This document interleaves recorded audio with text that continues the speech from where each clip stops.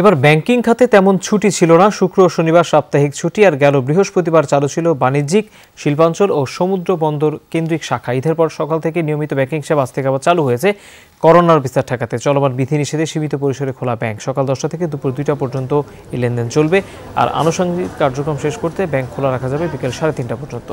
ঈদের ছুটির পর প্রথম কর্মদিবসে ব্যাংক পাড়ায় তেমন কর্মব্যস্ততা নেই। সহকর্মীরা একে অন্যকে শুভেচ্ছা বিনিময় করেই সময় কাটিয়েছেন। জরুরি প্রয়োজন ছাড়া খুব একটা লেনদেনও হয়নি। গ্রাহকদের উপস্থিতি কম শাখা ও প্রধান দপ্তরে ব্যাংকারদের উপস্থিতি বেশ স্বাভাবিক।